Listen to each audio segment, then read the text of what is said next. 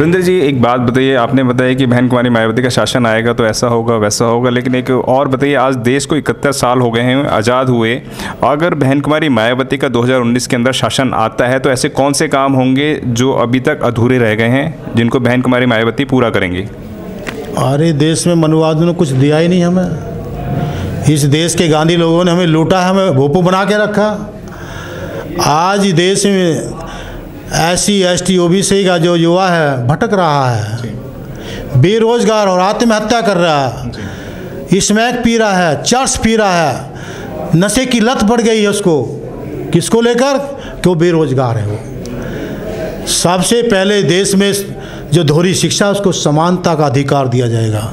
इस देश में बेरोजगारों को रोज़गार दिया जाए जो बाबा साहब ने कहा।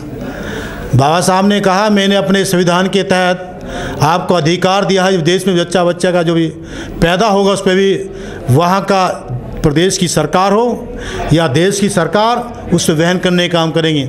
आप तमाम घोषणा पत्र देखते हैं, बाबा साहब का अधिकार है इसमें, बाबा साहब ने अधिकार दिया है।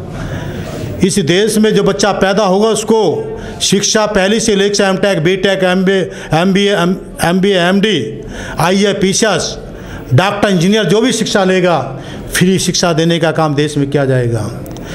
और यदि हमारा बच्चा पढ़ लिख लेगा उसको यहाँ रोज़गार देने का काम सरकार की ज़िम्मेदारी बनती है। और जब चुनाव आता आप देखते हैं घोषणा करते हैं मोदी जी कहते हैं कि मैं दो करोड़ नौकरी दूँगा केजरीवाल जी कहते हैं मैं दो, दो लाख नौकरी दूँगा। तमाम मुख्यमंत्री जो भावी मुख्यमंत्री होते हैं तमाम पार्टियाँ घोषणा करती हैं हम तमाम आपको इतनी नौकरियाँ देंगे। क्योंकि इसमें आदेश है सरकार को बाबा साहब डॉक्टर अंबेडकर संविधान में आदेश है, निर्देश है कि देश का शासक या प्रदेश का शासक होगा। इस देश के दलित शोषित समाज के लोग इस देश के गरीब समाज के लोगों के कल्याण विकास की बात करेगा। उसे रोजी रोटी और मकान देने का उसका अधिकार है, उसको देना पड़ेगा आपको।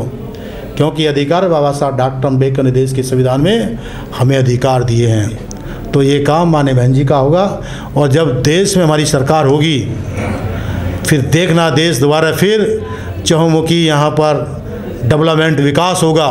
बाबा साहब डॉक्टर अंबेडकर के अधूरे जो कार्य हैं, वो संविधान को पूरी दिशा दी जाएगी। उसमें जो कानून लगे उनको सही उनको दिशा देने का काम करेगी। मेरा मानना है कि यदि हमने समाज के के लोगों ने बाबा साहब डॉक्टर अंबेडकर के संविधान को दिशा नहीं दी तो हमें दिशा मिलने वाली नहीं।